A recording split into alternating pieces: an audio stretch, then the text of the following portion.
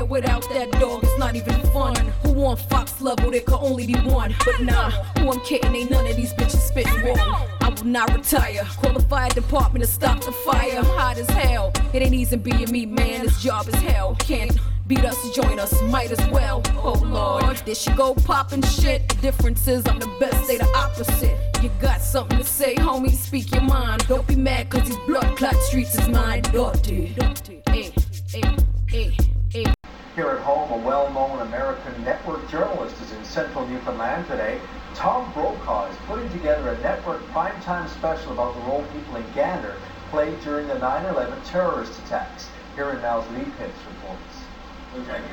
Gander Mayor Claude Elliott has been interviewed by dozens of reporters since 9-11. But this may be a first. Today he's being interviewed by Tom Brokaw from NBC. It's for a special on the role Gander played in the aftermath of 9-11. This seemed to be the best story in Canada about the ties between America and Canada, uh, the extraordinary reception that this area gave to all those passengers who were stranded. Gander played a vital role during the 9-11 terror attacks in the U.S. Dozens of planes, thousands of people stranded here. And people in this area opened their doors to them. I knew it was a good story before I got here, but once I got here, I realized just how rich it really is. It's a, it's a great tribute to the people of this area, and I think it had a, a lasting impact on all the passengers.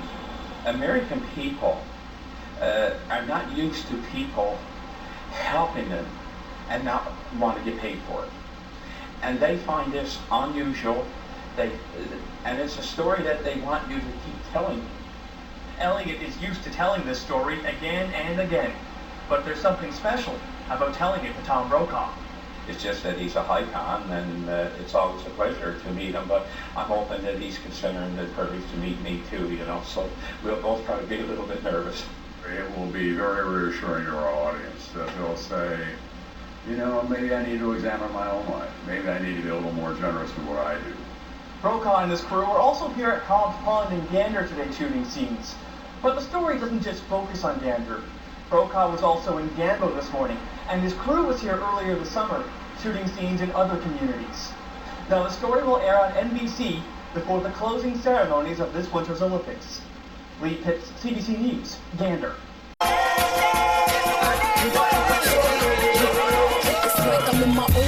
Fucking world. I speak how I feel. Sometimes I feel like I'm just too fucking real. I love to stack riches. No disrespect, y'all. I respect the rap game, but I don't fuck with rap bitches. I'm speaking from my heart. It's not that I'm too good, I'm just hood. Been like this from the fucking start. Since I bust my gun in 96. Y'all ain't never see me flick up with them fake ass chicks. Bitches now up in your face. Turn around and pop shit. You a in the street bitch. I'm a in the streets bitch. I might breeze through Prada, Chloe or Tips. But other than that, it's just me and my six kids.